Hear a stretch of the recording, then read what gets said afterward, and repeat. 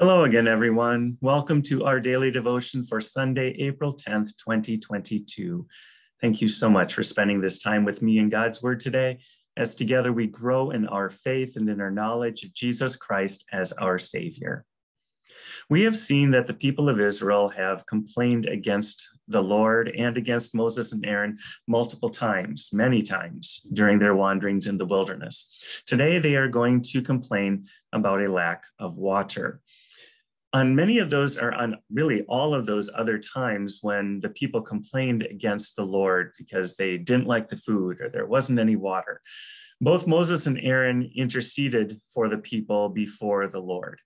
And in many ways, they protected the people from a, a, a, consequence that might have come upon the people had Moses and Aaron not interceded for the people. Today, we're going to see that Moses and Aaron kind of reach a breaking point with the people. They lose their patience, and instead of following the Lord's instructions, they go against the Lord's instructions. The Lord tells Moses and Aaron that they are to go to a particular rock and then speak to the rock, and then water will come out of the rock. The Lord intended for this to be a demonstration of his mercy and his love for the people. Moses and Aaron are going to unfortunately include themselves in with the Lord as the ones who are going to be bringing water out of this rock. And as Moses strikes the rock with his staff, instead of speaking to it, he's going to turn what God intended to be a demonstration of his mercy into a demonstration of law and a demonstration of, of well, something other than the Lord's mercy. As a result, the Lord is going to tell Moses and Aaron that they will not be able to enter the promised land of Canaan. Moses will get to see the land before he dies, and we'll see that uh, before we read the account of Moses' death, that he, the Lord does give him the ability to see the length and the breadth of the land from the top of a mountain east of the Jordan River, but they will not enter the land of Canaan. The people of Israel are then going to come upon their distant relatives, the Edomites, Edomites were descended from Esau, who was the brother of Jacob. Jacob, of course, was the ancestor of the people of Israel. The Israelites are going to ask the Edomites for permission to go through their land, and they'll promise not to do anything to damage the land of Edom. You can imagine that the Edomites would be a little reluctant to let a nation of perhaps as many as 2 million people just walk through their territory. Um, but the people of Israel promise they will repay them for any food that they take. They'll stay on the uh, king's highway. They're not going to do any damage to the Edomite land. The Edomites, however, are going to refuse. And so the Israelites are going to have to go around the land of Edom. And then we'll end our reading of Numbers chapter 20 with the account of the death of Aaron.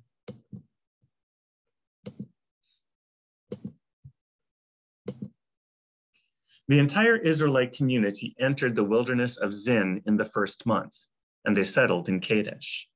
Miriam died and was buried there. There was no water for the community, so they assembled against Moses and Aaron. The people quarreled with Moses and said, If only we had perished when our brothers perished before the Lord. Why have you brought the Lord's assembly into this wilderness for us and our livestock to die here? Why have you led us up from Egypt to bring us to this evil place? It's not a place of grains, figs, vines, and pomegranates. There's no water to drink.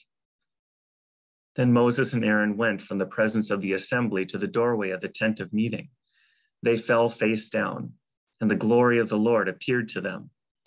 The Lord spoke to Moses Take the staff and assemble the community. You and your brother Aaron are to speak to the rock while they watch and it will yield its water. You will bring out water for them from the rock and provide drink for the community and their livestock. So Moses took the staff from the Lord's presence, just as he had commanded him. Moses and Aaron summoned this, the assembly in front of the rock.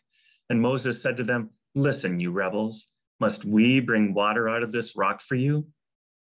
Then Moses raised his hand and struck the rock twice with his staff so that abundant water gushed out, and the community and their livestock drank. But the Lord said to Moses and Aaron, Because you did not trust me to demonstrate my holiness in the sight of the Israelites, you will not bring this assembly into the land I have given them. These are the waters of Meribah, where the Israelites quarreled with the Lord, indeed demonstrated his holiness to them.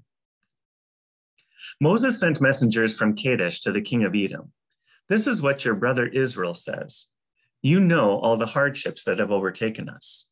Our ancestors went down to Egypt, and we lived in Egypt many years. But the Egyptians treated us and our ancestors badly. When we cried out to the Lord, he heard our plea and sent an angel and brought us out of Egypt.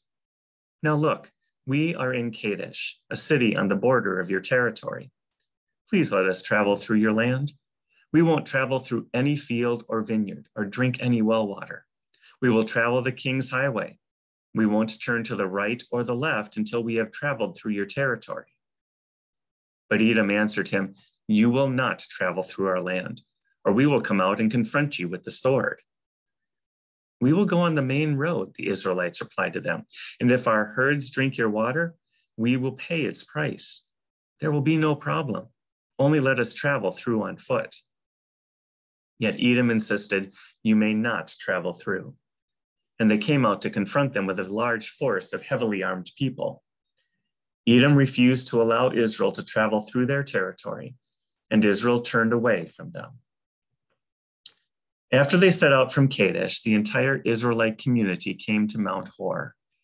The Lord said to Moses and Aaron at Mount Hor on the border of the land of Edom Aaron will be gathered to his people. He will not enter the land I have given the Israelites, because you both rebelled against my command at the waters of Meribah. Take Aaron and his son Eleazar and bring them up Mount Hor. Remove Aaron's garments and put them on his son Eleazar.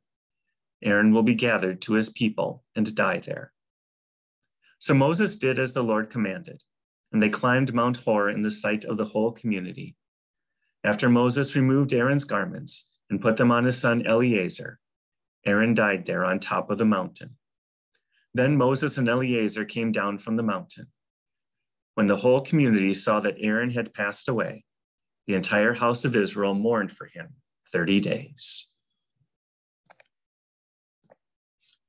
Today, we again read two Psalms of David.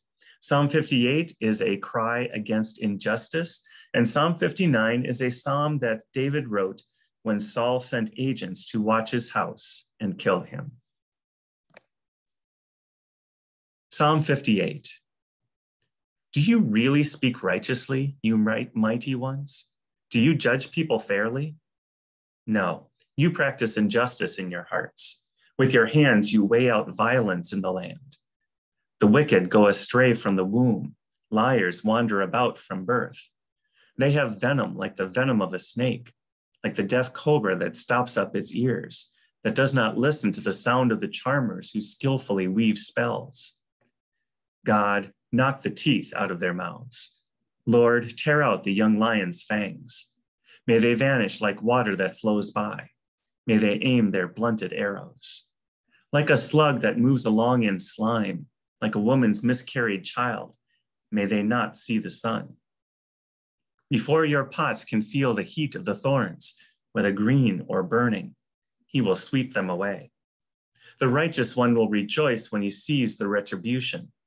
He will wash his feet in the blood of the wicked. Then people will say, Yes, there is a reward for the righteous.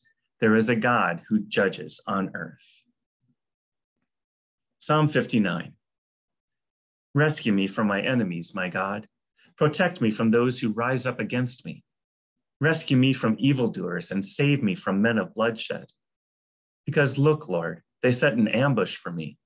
Powerful men attack me, but not because of any sin or rebellion of mine. For no fault of mine, they run and take up a position. Awake to help me and take notice. Lord God of armies, you are the God of Israel. Rise up to punish all the nations. Do not show favor to any wicked traitors. They return at evening, snarling like dogs and prowling around the city. Look, they spew from their mouths, sharp words from their lips. For who, they say, will hear? But you laugh at them, Lord. You ridicule all the nations.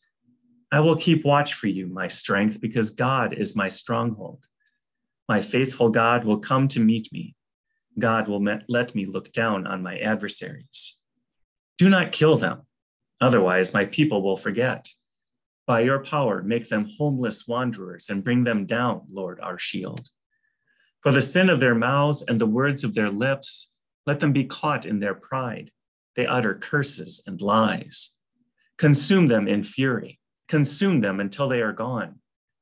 Then people will know throughout the earth that God rules over Jacob. And they return at evening, snarling like dogs and prowling around the city. They scavenge for food. They growl if they are not satisfied. But I will sing of your strength and will joyfully proclaim your faithful love in the morning. For you have been a stronghold for me, a refuge in my day of trouble. To you, my strength, I sing praises, because God is my stronghold, my faithful God. And now the Lord bless you and keep you. The Lord make his face shine on you and be gracious to you. The Lord look upon you with his favor and give you peace. Amen. Thank you so much for spending this time with me in God's word today. May the Lord richly bless your day. And I look forward to seeing you again tomorrow.